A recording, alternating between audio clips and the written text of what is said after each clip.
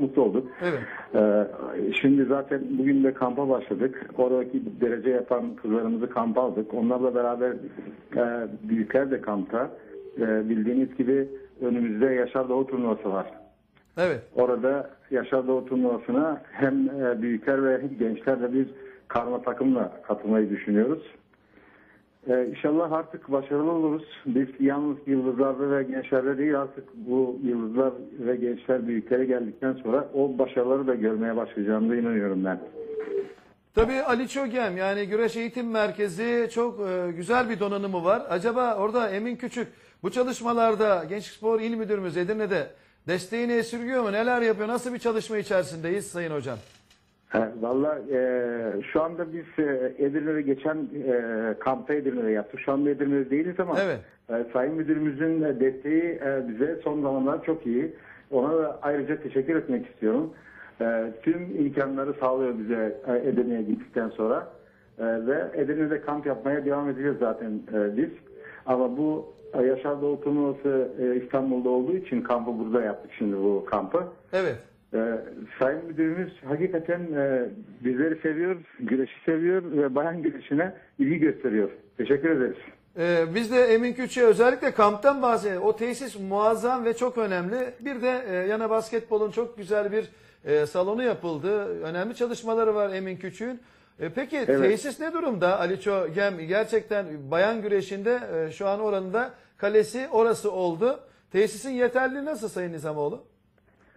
Valla tesisi tam dört dörtlük bir tesis. Ee, yalnız e, spor e, antrenman salonunda, güreş salonunda e, böyle bir küçük problem demeyeyim de aksaklık var. O ama onu artık bir düzeltmemiz mümkün değil. Biraz e, e, iki minder sığacak gibi bir yere olsaydı daha iyi olurdu diye düşünüyorum ama e, yine de e, şu anda bize yetiyor. Peki Sayın Nizamoğlu tabii 29-30 e, yani ocağın bu hafta sonunda Vehbi Emre başlıyor. Greco-Romencilerimize, Türk güreşine buradan vereceğiniz bir mesaj var mı bayan güreşi adına efendim? E, Evet, e, e, son yıllarda bildiğimiz gibi Greco-Romen takımımız çok iyi bir takım. Geçen sene, bu sene değil, geçen sene dünya şampiyonu, bu sene dünya ikincisi oldular.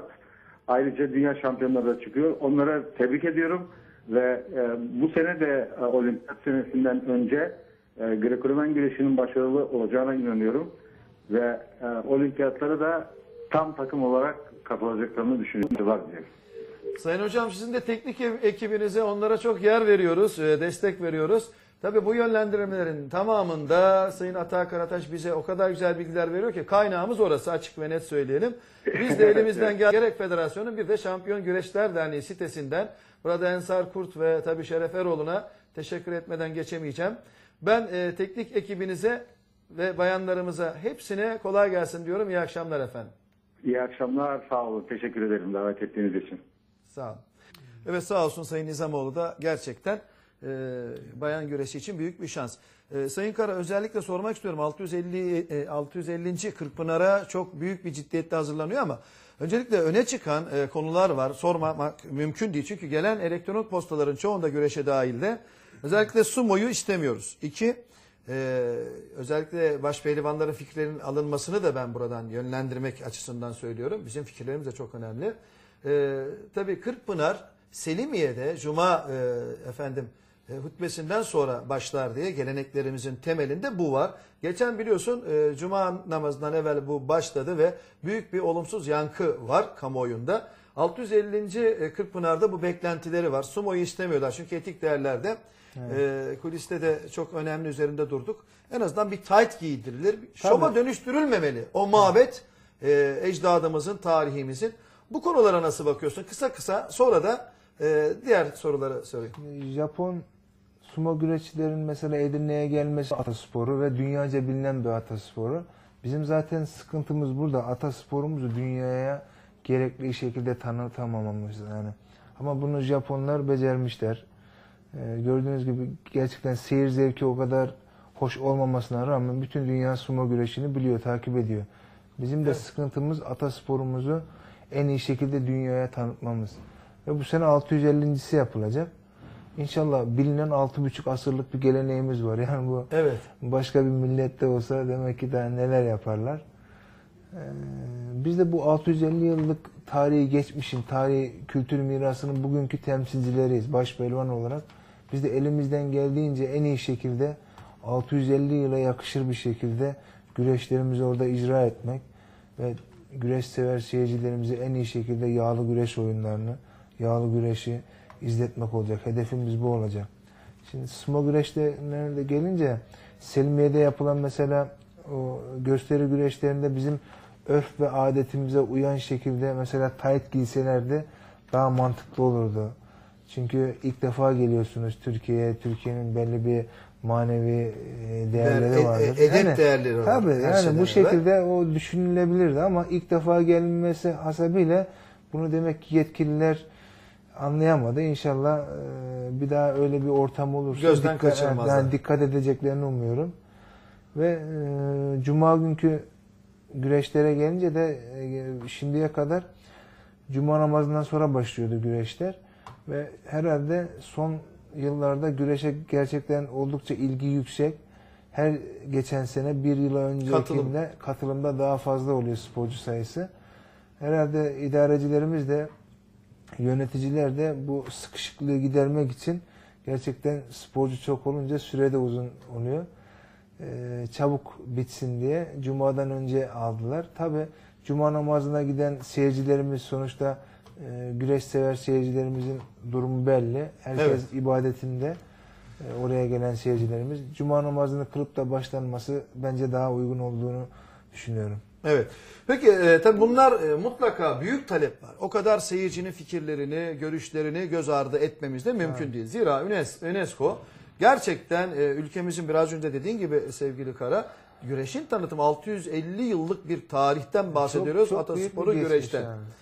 Peki e, hedeflerinde tam olarak e, Kırkpınar'da bir de aynı zamanda dünya şampiyonu. Arada fazla 3 az e, yani bence e, o süre nasıl değerlendireceksin bilmiyorum ama e, her iki açıdan da Kırkpınar'da hedeflerin e, nelerdir? Tabii inşallah e, Dünya Şampiyonası Eylül ayında olacak. Kırkpınar güreşleriyle ikisinin arasında 3 ay gibi bir zaman dilimi var. Sonuçta bunun hiçbir zararı olmayacak. Tabii sonuçta ben baş pehlivanım. Kırkpınar'ın baş pehlivanıyım. Türkiye'nin baş pehlivanıyım. Kırkpınar'a güreşeceğiz. 650 yıl, 650. yılında altın kemeri almak hedefim. O yüzden Evet. iyi çalıştık. Bu sene gerçekten çok ciddi şekilde hazırlıklarımızı o yönde yaptık. Hoca, de- hocalarımızla birlikte Allah emeklerimizi boşa çıkarmaz inşallah. Bu sene 650. yılı en iyi şekilde değerlendirip altın kemeri alırız diyorum. Şimdi Recep Kara seyircileri e, öncelikle Eylül'de ülkemizde yapılacak İstanbul'a bir davet edelim. Tamam. E, inşallah e, bu Vehbi Emre'den sonra da başarılar devam edecek. Onlara sen Recep Kara'nın ağzından beklentileri nasıl bir Recep Kara önümüzdeki müsabakalarda seyredecekler? Valla bekleyelim görelim inşallah. Yani hedefimiz e, çıktığımız minder güreşi olsun, yağlı güreş olsun bu 2011 yılına gerçekten iyi hazırlandık. Ciddi manada hazırlandık. Şampiyon olarak kapatırız inşallah bu sezonu. Evet. 2011'i. E, Değerli izleyiciler e, biliyorsunuz 2011'in takviminin en önemli ilk e, organizasyonu Güreş Federasyonu'nda Sayın Doktor Osman Aşkın Bakın. Tabi başta Gen- Gençlik Spor Gen- Gençlik e, Genel Genç Spor Genel Müdürümüz Yunus Akgül olmak üzere e, İstanbul'un bir de beyefendi Sayın Tamer Taşpınar'ı var. Zira e, hemen Şubat'ın başında da Yaşar Doğu turnuvalarımız var. Vehbi Emre 1903'te e, hayata e, gözlerini açıyor ama 1900'de özellikle e, 83'te aramızdan ayrılıyor. Bu zamanlarda olmak üzere tam 12 yıl Güreş Federasyonu Başkanı'nın yanı sıra büyük bir gururla dünyada Filadas Başkanlık görevini rahmetli Vehbi Emre e, üstlenmiş ve güreşin gururu olmuş. Vehbi Emre turnuvası 29-30 Ocak'ta Ahmet Cömert'te. Herkesi güreş severleri oraya bekliyoruz. Tekrar ediyorum 29-30 Ocak'ta Ahmet Cömert'te Müthiş bir turnuva var. Uluslararası boyutu olan bu turnuvada önemli katılımcılar olacak ve bütün güreş severleri Ahmet Cömert'e bekliyoruz. Tabii konuğumuz Recep Kara'ya da son olarak programın sonuna geldik. Ee, hangi sözlerle veda etmek istersin güreşe daire şampiyon? Ben tabii buradan Greco-Roman milli takım kampındaki hocalarımıza, sporcu arkadaşlarımıza bu hafta sonu yapılacak olan turnuvada başarılar diliyorum. İnşallah emeklerinin karşılığını alırlar. Dünya Şampiyonası ve Avrupa Şampiyonası'ndan önce yapılacak bu turnuvada. Ve serbest güreş milli takım kampımızda tabi 12-13 Şubat'ta Yaşar Doğu turnuvası yapılacak. Buradan güreş sever seyircilerimize bu hafta sonu yapılacak olan Greco-Romen güreşlerini ve 12-13 Şubat'ta yapılacak olan serbest güreş Yaşar Doğu turnuvasına bekliyoruz. Sonuçta seyirci e, gerçekten motive olarak bizi gerçekten güzel motive ediyor. Seyircilerimizin önünde güreş yapmak yabancı rakiplerimize karşı. İnşallah salonumuz dolar. E, En iyi şekilde bu turnuvaları bitiririz diyorum. Evet. Recep Kara hayranlarında tabii Yaşar Doğu'da seyredeceğiz inşallah. Ee, biz buradan Güreşe Dair'in sonuna geldik. Emeği geçen, yayında emeği geçen değerli arkadaşlarım adına bir başka Güreşe Dair'de görüşmek üzere. Tekrarı cumartesi 12 12.30'da olan Güreşe Dair'de görüşmek üzere. Şimdilik herkese iyi akşamlar efendim.